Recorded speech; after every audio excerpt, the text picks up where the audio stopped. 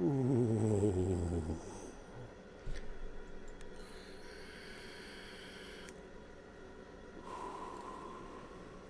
morning, good afternoon, good evening, good night, wherever you may be.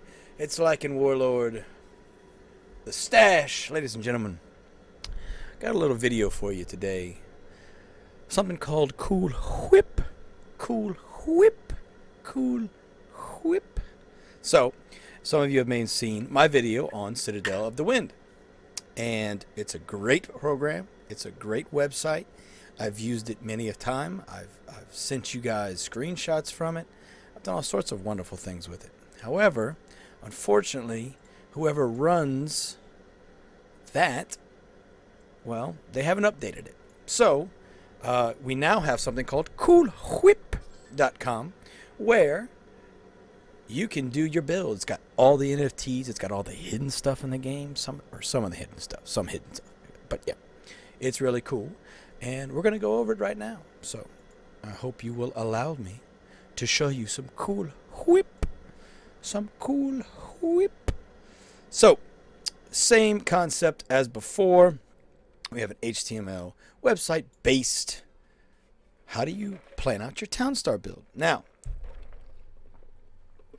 we don't have live action, but it's okay. We're gonna make it work. So, I'm gonna make me a little bit bigger. You know, I'm feeling a little bit, a little bit pretty today. How y'all like that? How y'all like me making? Uh, I'm a little bit bigger, a little bit bigger now. So, what I have right here in front of me looks very similar if you've ever used Citadel of the Wind.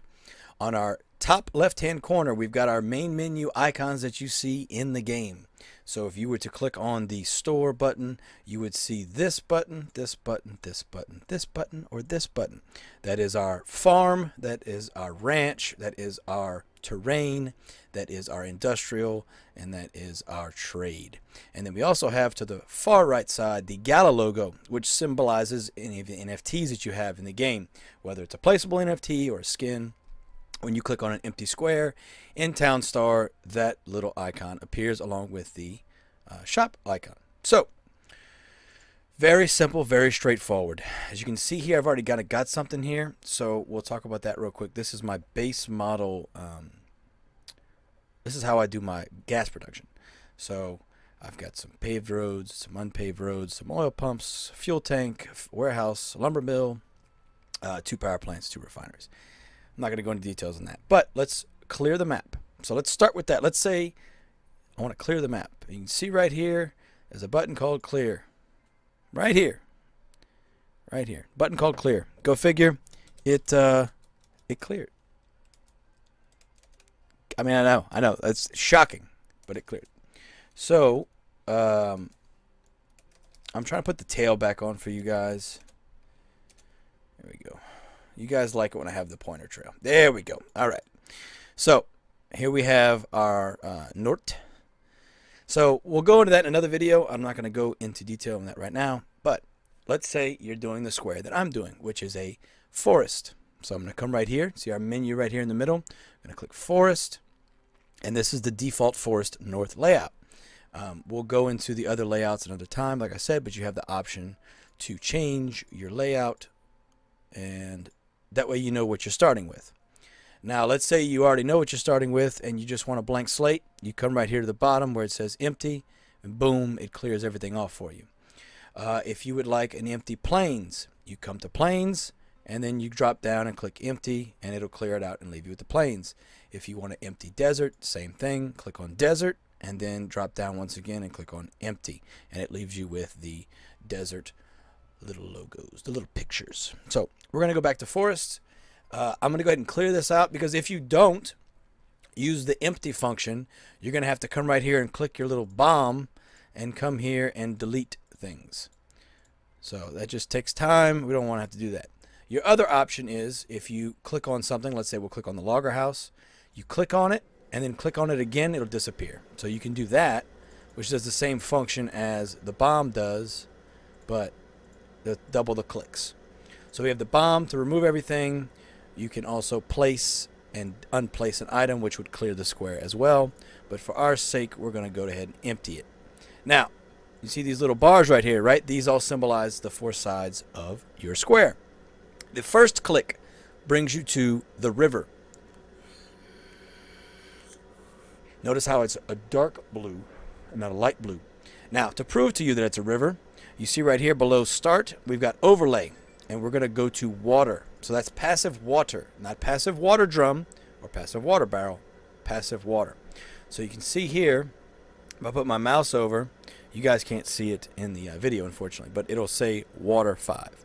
So this is a river, which gives me 5 passive water.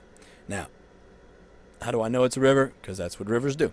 Now, if I were to click every side and turn it into a river, you now see that I've got this lovely blue matrix showing me all the water that I'm getting passively from the river.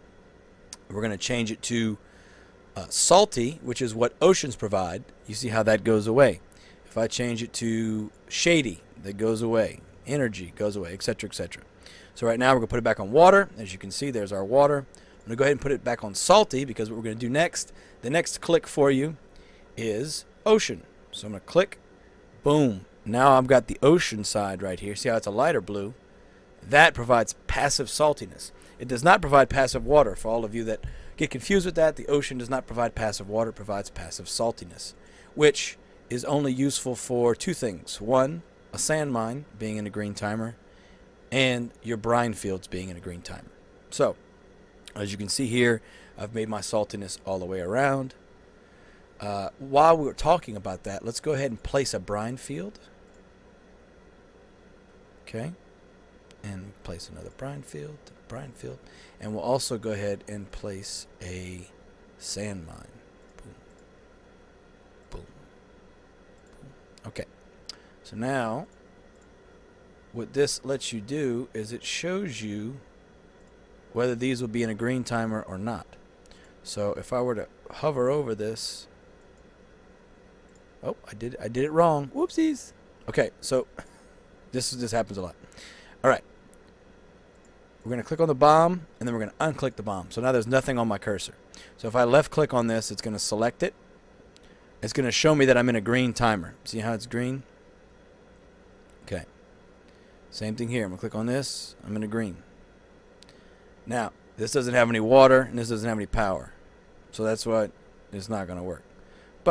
For the sake of uh, sake of our exercise here, we're going to make sure that it's working. That way we know for sure it's to work. Now, everything has everything it needs. Boom. Okay. So now, click on that, unclick that. When I click on this nuclear power plant, boom, I'm in the green. Sand mine, in the green. Okay? See how it's showing me I got 3 of 2 energy?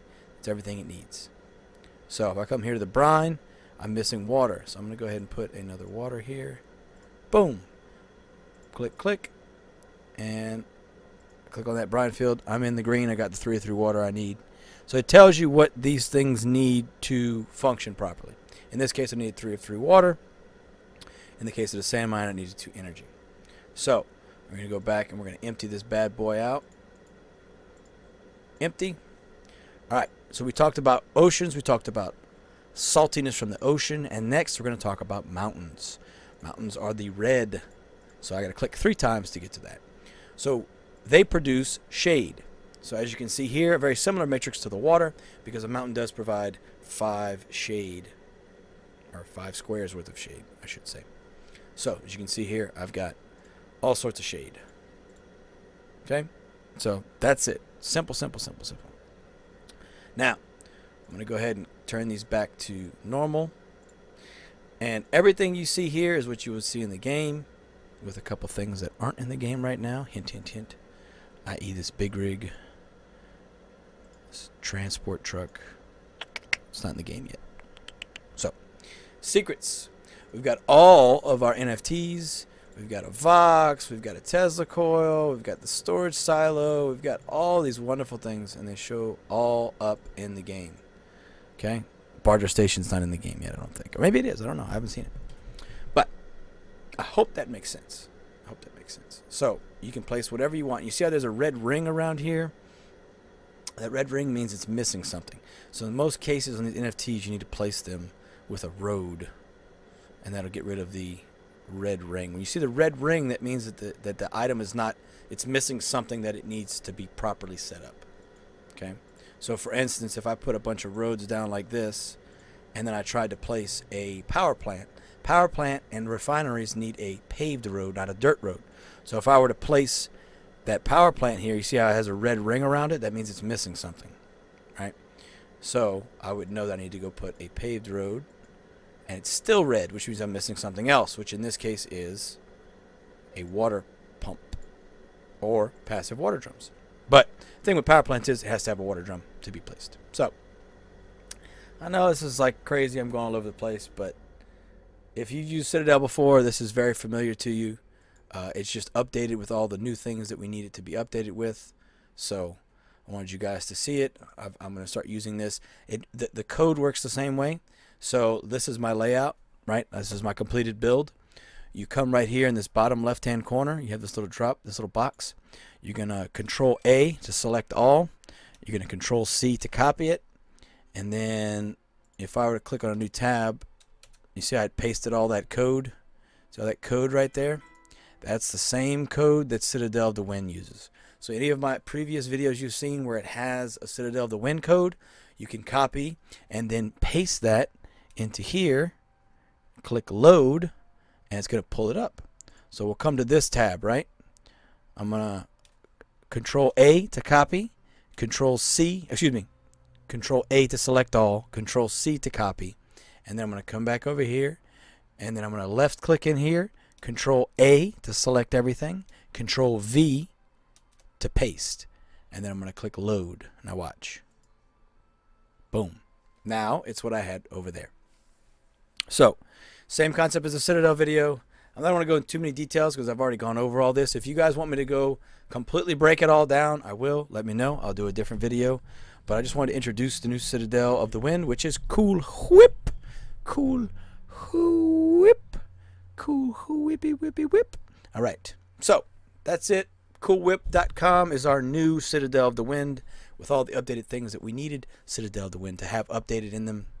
Um, if you got any questions, leave them down below. Come join me in the Discord. If you'd like to support me, I do have a Patreon.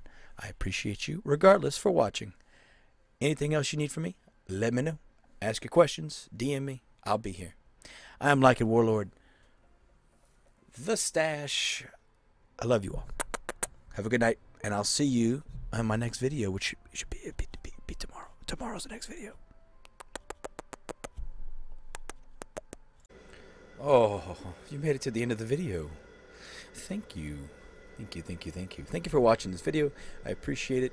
I wanted to shout out my Patreons, my patrons, my Patreons from Patreon, my patrons from Patreon. Thank you very much for all of your support. I really appreciate it. Um, this is uh, my first in video, so we're going to use this from now on. Um, I'll get it better. Maybe eventually, if we got more, I'll scroll or something. I don't know. I got to figure it out. But thank you all. Thank you for your support. I appreciate it. Thank you all. Uh, the link for Patreon's below.